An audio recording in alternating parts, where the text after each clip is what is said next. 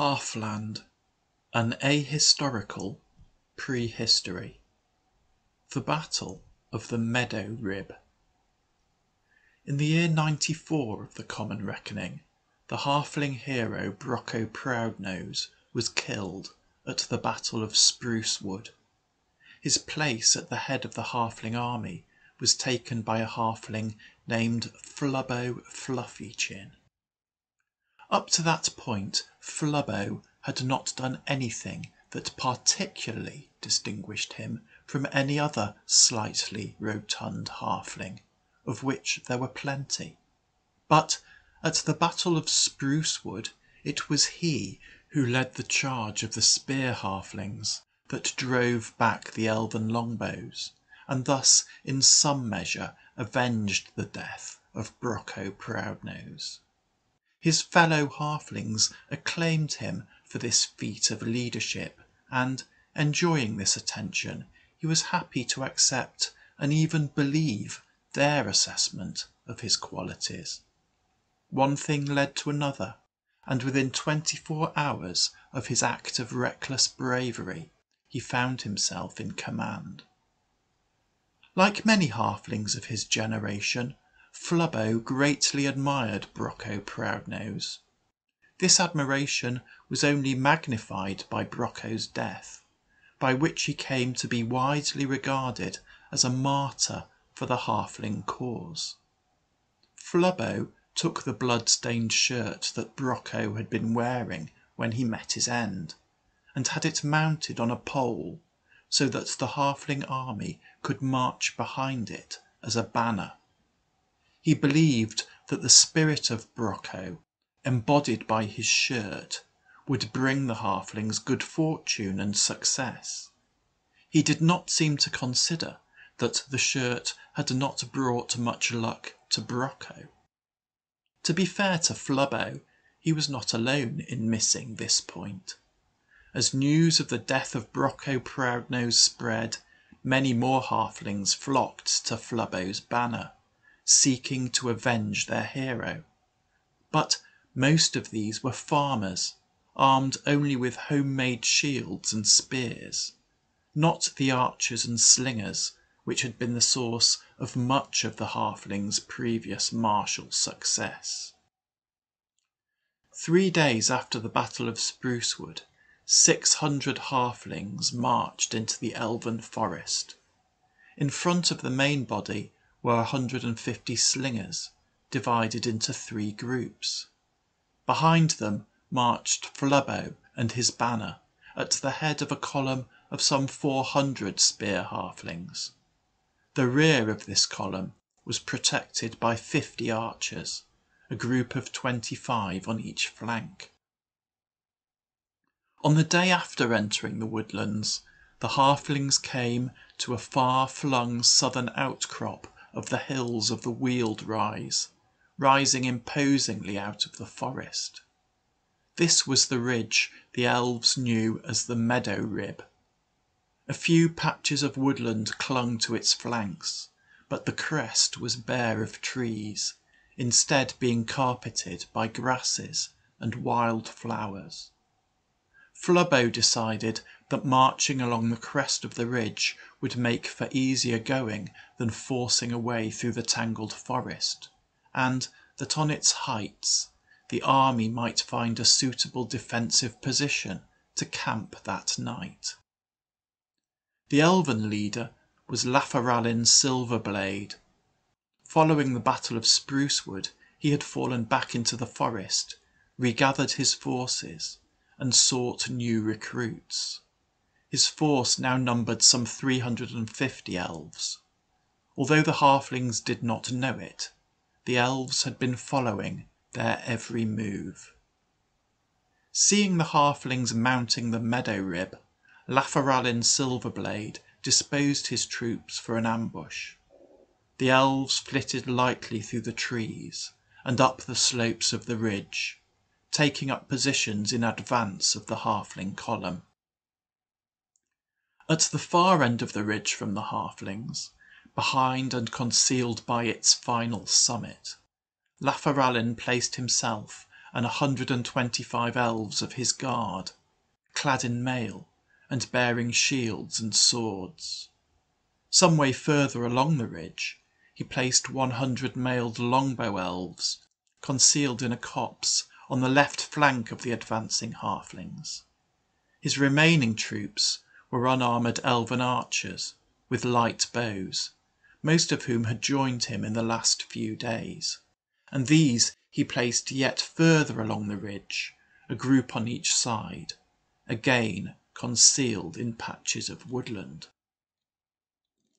Unaware of what awaited them, the halflings marched along the ridge. The elves bided their time, waiting until the halfling column had completely passed both groups of light elven archers. And then elven arrows whistled out of the woods, and the halfling archers to the right rear of the halfling column had ceased to exist. Flubbo reacted by ordering one hundred of the halfling slingers in front of him back down the right flank of the column to deal with this threat. The slingers formed a line as they advanced, and soon slingshot was flying between the trees.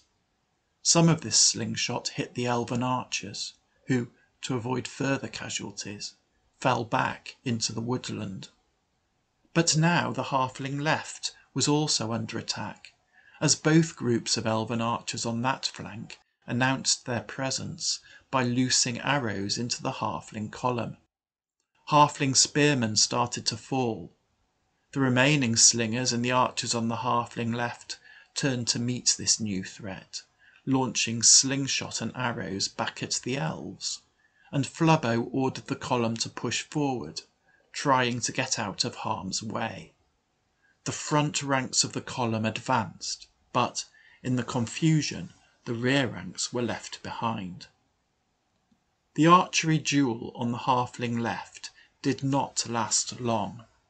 The remaining halfling archers were quickly pierced by elven arrows, and the elven light archers emerged from the woods, switching their target to the spear halflings.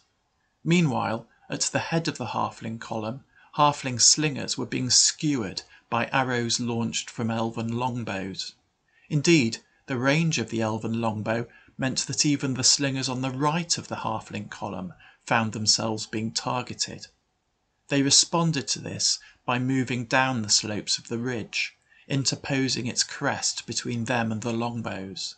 Thus sheltered, they moved to the back of the column, to a position where they could hurl slingshot at the elven light archers to the left rear of the halflings.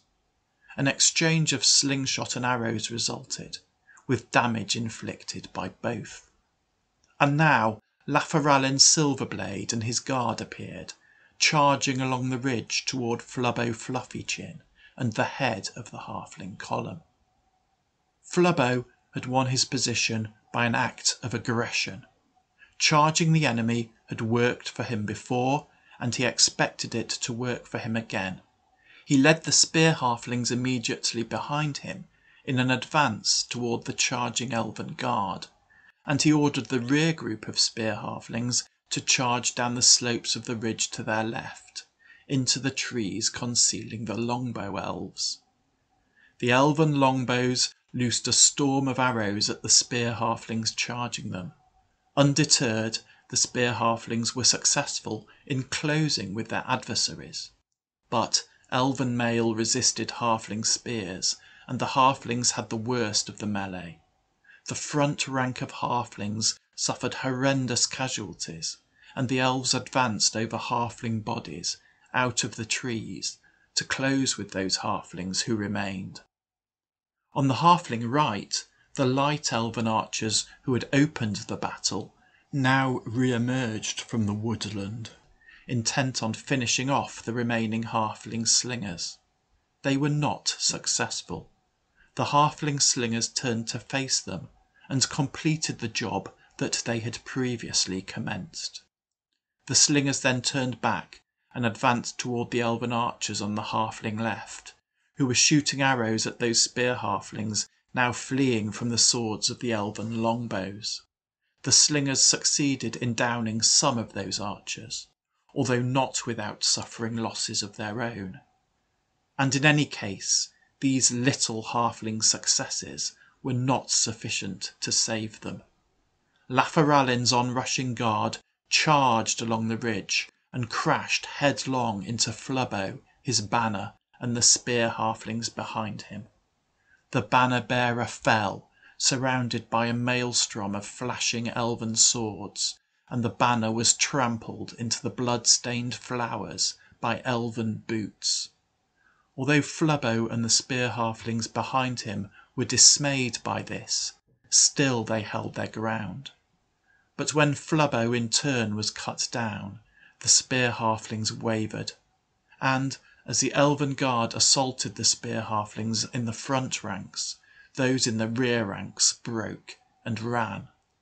The elven guard brutally slew those halflings who stood and fought, and then set out in pursuit of the remainder, hacking at their backs as they fled. And now the halfling rout became general, throwing away their weapons, shields, and anything else that might slow their progress. The few surviving halflings, beset by blind panic, sprinted from the field. It is said that of the six hundred halflings who entered the battle, fewer than one hundred survived it. Thus ended the Battle of the Meadow Rib.